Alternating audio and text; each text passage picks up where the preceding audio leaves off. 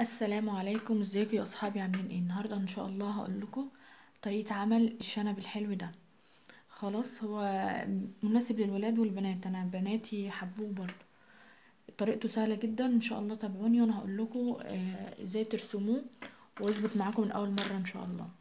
الادوات اللي إحنا هنحتاجها الأول هو فوم جليتر آه أنا استخدمت اللون الاسود والزينة عصايه الشيش طاووق استخدمت الفضي. انت براحتك ممكن تستخدميه ذهبي أو ممكن تستخدميه أسود برضو. ماشي؟ طب إزاي أرسمه؟ أرسم الشنب على الفوم ويظبط مني. في البداية كده هجيب ورقة أهي ورقة بيضة هقسمها نصين وأبدأ أرسم الشنب. خلاص؟ أهو.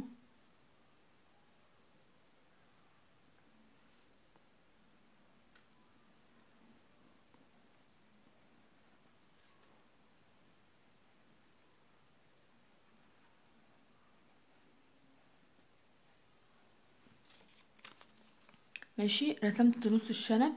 هبدأ بقى إن أنا أقصه. هقصه وأرجع لكم. أهو. هقصه وأرجع لكم.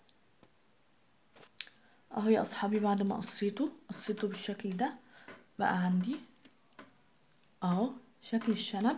هبدأ أحطه على الفوم. أهو. وأبدأ أرسمه بالقلم الرصاص.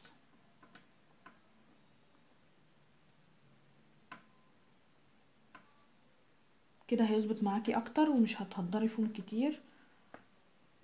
ولو غلطتي عادي يبقى غلطتي في الورقة يعني مش مش هتخسري كتير. خلاص؟ أهو رسمته هنا أهو. هبدأ أقصه وأرجع لكم. السلام عليكم. أهو يا أصحابي. أنا قصيت أهوت الشنب. هبدأ بقى. ألزقه؟ هلزق عصاية الشطاوة كده.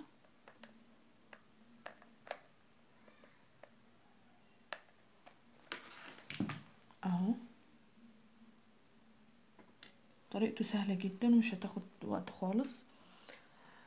بالنسبة للورقة دي أنا قصر صغرتها حبة بعد ما قصيت الشنب قعدت أصغر فيها عشان ما نيجي نحطها.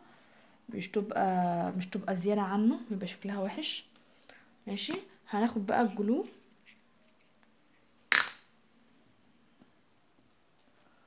وعاوز بيه الورقة كده.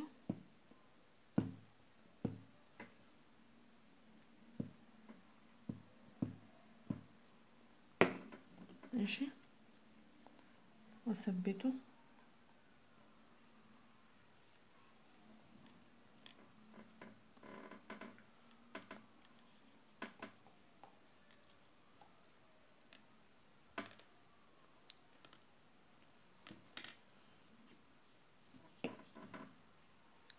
اثبته بالطريقة دي. أهو. دي يعني اختياري ده عشان اداري العصاية. يبقى شكلها حلو. آه انتي حرة بقى لو مش عايزاها. عادي. أهو. ده شكل الشنب. هبدأ بقى ال للدراع دوت أزينه. أنا جبت فوم جليتر بس بيلزق. ممكن انتي تجيبيه من العادي وأنا زيادة أكيد هعوز برضك شم. أهو.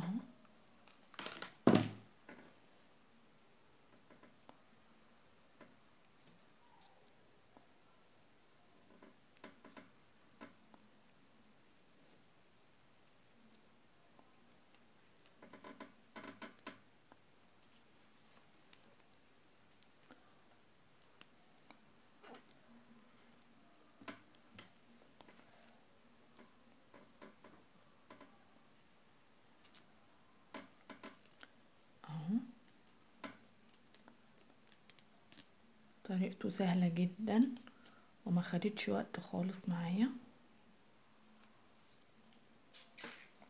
برضك في الآخر هأكد عليه بالشمع